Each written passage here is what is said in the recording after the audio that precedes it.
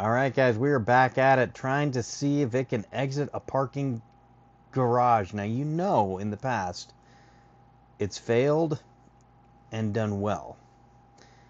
So I'm going to see again if it can do it.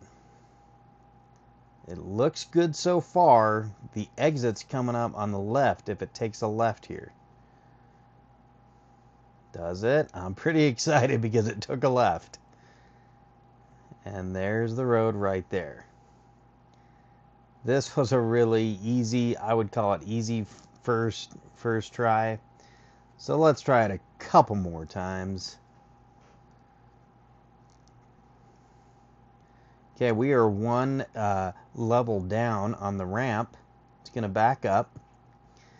And now it could go down the ramp and, and, and out, but it didn't.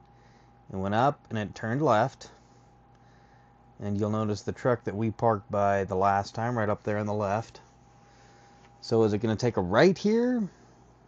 Or is it going to go left? Let's find out. Looks good.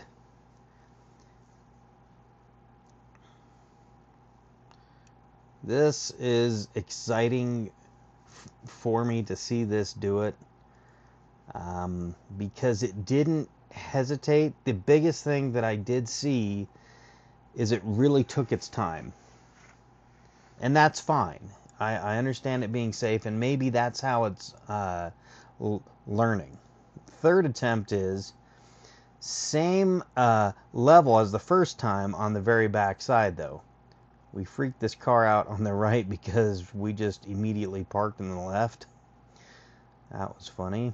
All right, so it could go down this ramp if it wants. It's not going to. Okay, there's that truck. So, is it going to go right?